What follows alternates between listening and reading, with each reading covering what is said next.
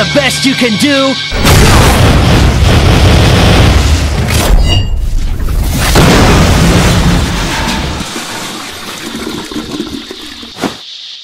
Did you see that hot JPEG footage that was